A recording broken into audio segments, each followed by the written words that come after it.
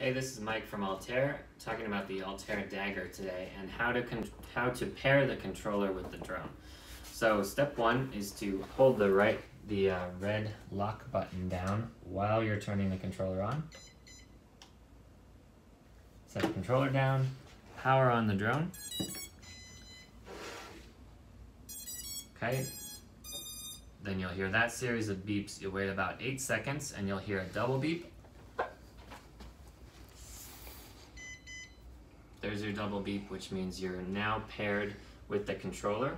And then your final step is to do the compass calibration. You can see the yellow light blinking here. I'm gonna spin it three times. One, two, it's already changed to green, but you can see three, now it's changed to green. That was horizontally, now we'll do three spins vertically and that light will change from green to yellow again. Okay, and now you can see we're fully paired and our compass is calibrated.